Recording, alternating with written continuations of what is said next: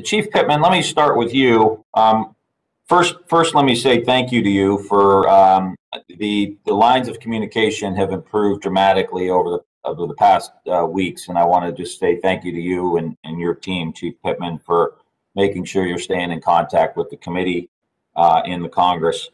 Um, I've got a couple questions. So you were talking about increasing the size of the dignitary protection, posting dignitary protection agents, extending coverage of uh, the investigations division. So uh, when you said you increased the size of dignitary protection, how many how many people were uh, increased there? How many law enforcement people were increased? Yes, sir. Uh, thank you. So we went from four-man uh, protection details and increased that to six-man protection details. Okay, so that's, I mean, that's not a significant increase at all when you're talking about, you know, what, what we went through. Um, how about some of the other things you mentioned? Uh, so you embedded an analyst, deploying counter surveillance agents. So how many counter surveillance agents did you uh, deploy in the morning of the 6th?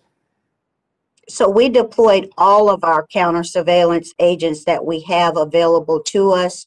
We also increased our uh, open source operations, if you will, to go from uh, a 16 hour day to we uh, separated our manpower to ensure that we had open source uh, operations around the clock. So all of our uh, PSB operators, if you will, which includes dignitary protection, the investigations division, as well as intelligence, were operating on a 24 7 platform.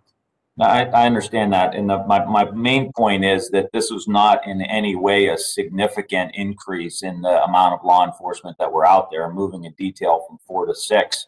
Uh, even if you did that multiple times, is not any significant increase. And I guess the question I have is that if if you felt like and everybody felt like this was adequate, why was Chief Sund trying to press the sergeant at arms for more help? So let me just uh, be clear. As it relates to dignitary protection, that is just a small portion of U.S. Capitol Police. So there's a limited number of dignitary protection agents that are specially trained in that area. So increasing from a four-person team to a six-person team essentially is all of the dignitary protection agents that U.S. Capitol Police has available to them. So No, there was, so going from, from that four-person team to six is every person that we have.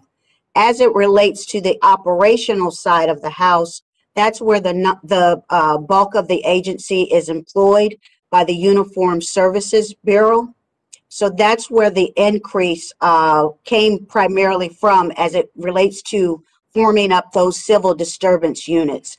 So prior to that January 3rd assessment, uh, the operational plan required for four platoons to be activated on for the January 6th event.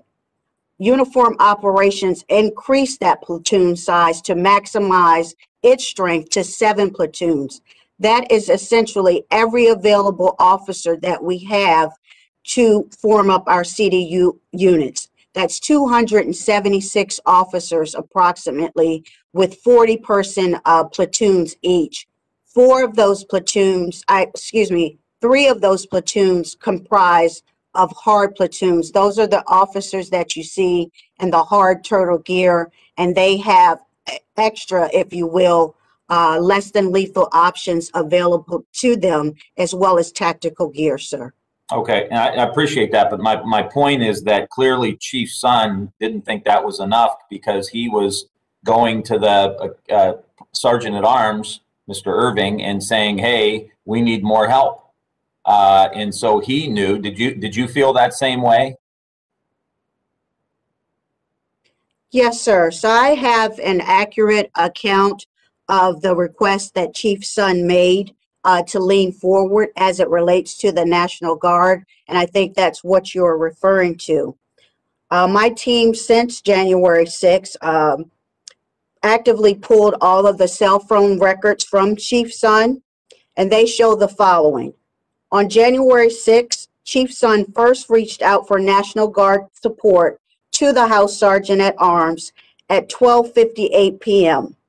He then spoke to the Senate Sergeant at Arms to make the same request for the National Guard at 1:05 p.m. And he repeated his request to the House Sergeant at Arms at 1:28 p.m., speaking again with them at 1:34, 1:39, and 1:45. Chief Sund spoke to both Sergeant at Arms to request National Guard support. Now, Chief, Chief, I, I don't mean to Yes, interrupt you, but we're Mhm. we're limited on time here a little bit. Yes, sir. I'm ta- I'm talking about prior to January 6th. My main point here is that we, we appreciate that you increased dignitary protection and the platoons and all the rest. That's still a limited number. I think it's important that the committee and the Congress knows that Yes. that's a limited, a very limited number compared to what the threat was and what we think the threat assessment is. And my question to you is, Chief Sund clearly was worried and he called Mr. Irving prior to the 6th Yes, sir. and said, Hey, we need more help. Mr. Irving said, No, go ask the National Guard to lean in. And quite frankly, I don't even know what lean in means. If that's some kind of term that I, I don't know, but uh, what does lean in mean? It means, you know, shut up and, and don't ask me for any more help, is how I take that. And my question is, and, and we've got a lot of questions here, but my question is, were you in agreement with because you're now the acting chief and part of this uh, enterprise here that we're into is about moving forward at that time were you in agreement with chief Sund that you needed more support from primarily from the national guard Yes, sir. Okay, thank you. Uh, my time is up, uh, Ms. Herrera, and, and I just want the committee to know, uh, like yesterday, um, we are, we're gonna take a little bit of liberties with the time to make sure that these questions get answered. Uh, we have a smaller committee that allows us to maybe do some of that, so